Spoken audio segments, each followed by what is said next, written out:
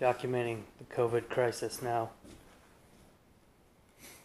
We're on day, school day six of homeschooling COVID crisis. Here are my children who claim they are done with their schoolwork for the day. Although none of them will produce any evidence that they have completed their schoolwork.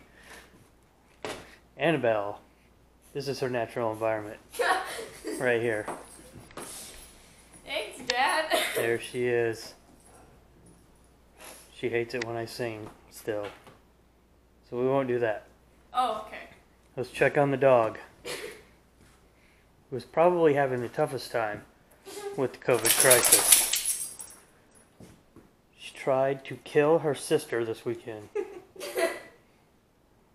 with a tiny cut on her ear that looked as though possibly he had sacrificed an animal to try and get rid of the disease.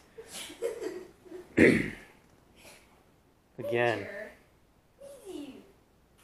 teenage children, dog, teenage daughter. I thought you were gonna call me a The struggle is real. You might be a gremlin. No one is.